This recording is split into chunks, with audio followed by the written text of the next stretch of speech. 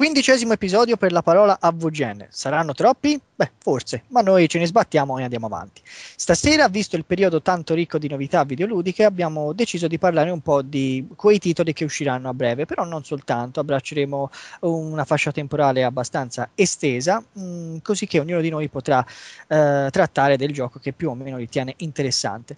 Ma prima di iniziare, un saluto da Megar. Salve! Un saluto da Simone. Ehi là, ciao a tutti. E infine il nostro Giacomino. Salve.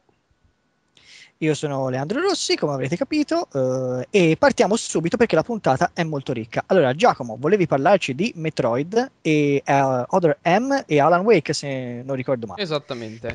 Allora, Metroid Other M è il nuovo capitolo per Nintendo Wii della famosissima serie Metroid che tutti quanti di sicuro conoscete. È un nuovo episodio che però si scosta parecchio da, um, dalla um, trilogia Prime nata su GameCube e continuata con Metroid Prime 3 Corruption su Nintendo Wii. Metroid Other M è eh, molto particolare in quanto c'è un vero e proprio ritorno alle due dimensioni rispetto eh, a quanto invece fatto con i, con i capitoli per GameCube e Wii della serie Prime. Proprio perché eh, si è quasi totalmente abbandonato la prima persona e si è scelti di eh, ritornare ad uno scrolling laterale, cosa in effetti un po' particolare nel 2010, eh, insomma. E la cosa interessante è che però la prima persona non è stata totalmente dimenticata, in quanto ehm, per esplorare le ambientazioni piuttosto che per colpire alcuni mh, mm, nemici, alcuni punti deboli di certi boss, o per ehm, anche semplicemente trovare alcuni oggetti nascosti, eccetera, eccetera, la prima persona appunto eh, ritornerà in maniera statica però perché quando la utilizzeremo non potremo muoverci ma soltanto cambi- eh, mirare per lo schermo e sarà necessario ecco, eh, dimmi. Questo è sicuro, eh, no, volevo chiederti, ma questo è sicuro? Cioè che quando ci sarà la prima persona non ci si potrà muovere? Sì, sì. E quindi resteremo fissi sul posto? È sicuro, sì. Infatti la, ah. dai video che sono comparsi, eh, per esempio ci si ferma, si esplora un attimo le ambientazioni con la prima persona, si trovano eventuali oggetti o vie nascoste e poi si prosegue. Anche durante i boss eh, da quello che ho visto è una cosa comunque abbastanza dinamica il passaggio dalla seconda alla prima persona, cioè dalla terza laterale alla prima persona in 3D. E, e serve appunto per mirare certi punti precisi dei nemici e cose di questo tipo. La cosa molto bella comunque è che il, il progetto è in mano mm, dal punto di vista del mm, tecnico al team ninja se non conoscete il Team Ninja, è il creatore della serie Ninja Gaiden e eh, Dead or Alive, in particolare Ninja Gaiden che è uno, penso, dei migliori action eh, realizzati nonostante il, il grande livello di difficoltà.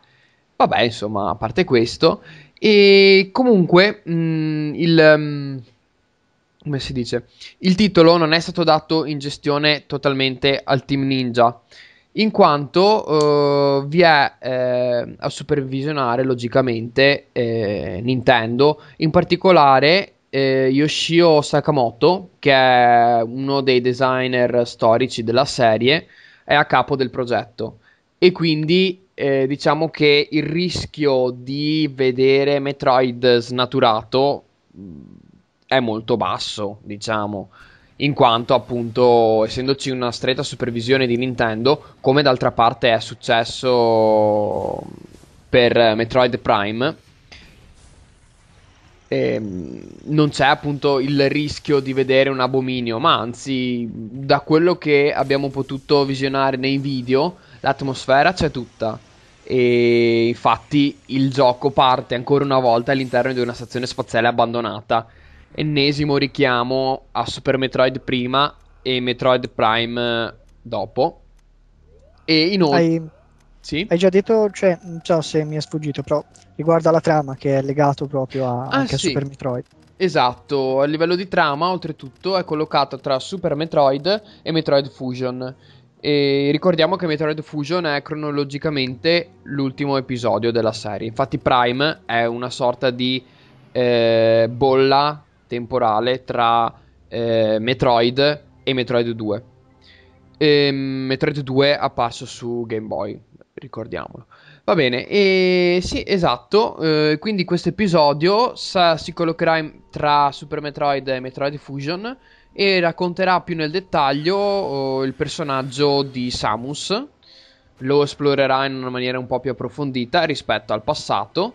E quindi mm, il titolo è davvero molto promettente perché ci sono davvero molti elementi interessanti come anche per esempio il level design che eh, a quanto pare ehm, è stato mantenuto abbastanza labirintico come in Super Metroid e i potenziamenti e tutte queste cose qui.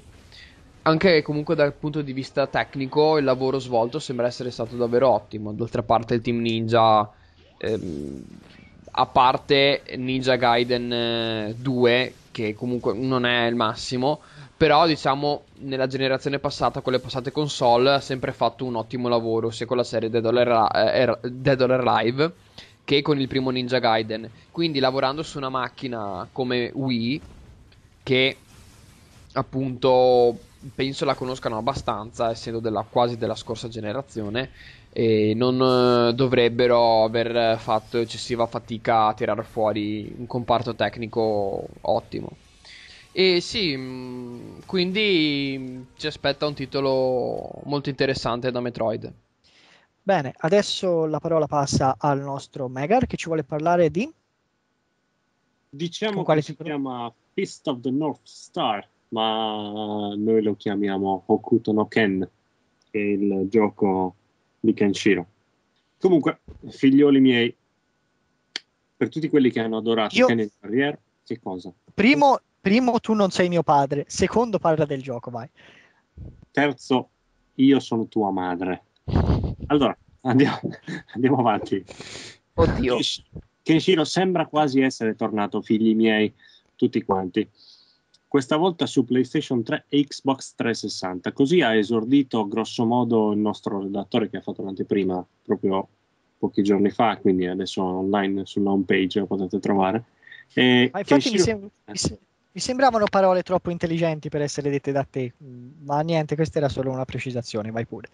No, no, ma me le, ha- me le sta suggerendo mia madre. C'ho qua mamma a fianco che mi legge quello che devo dire.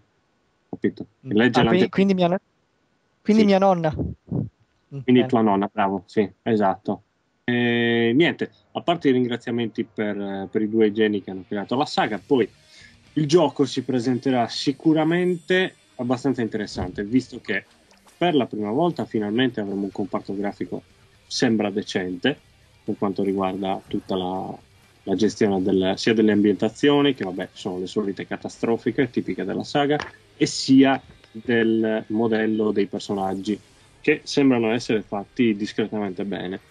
Certo, non ci sono tantissimi screenshots, però per il momento quelli che sono, sono un attimino in giro sembra che diciamo che ci sia una- un buon tasso grafico e quindi è già un buon inizio. Come seconda cosa bisognerà controllare il gameplay, bisogna vedere che cosa tirano fuori eh, quelli della Koei Tecmo. Eh, non è semplice perché alla fine lo sappiamo tutti, quando si va a parlare di un gioco che è stato tratto da un fumetto, da un anime, da una saga televisiva, da un- insomma tie-in, trasposizioni, diciamo che ci, va- ci si deve sempre andare con i piedi di piombo.